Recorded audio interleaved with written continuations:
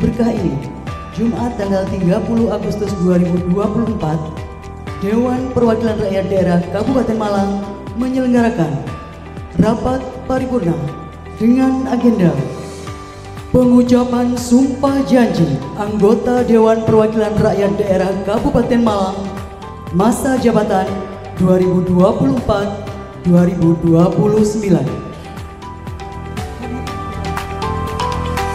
Berdasarkan Undang-Undang tentang susunan kedudukan MPR, DPR, DPD, dan DPRD bahwa anggota DPRD sebelum memangku jabatan mengucapkan sumpah janji secara bersama-sama yang dipandu oleh Ketua Pengadilan Negeri dalam sidang paripurna DPRD.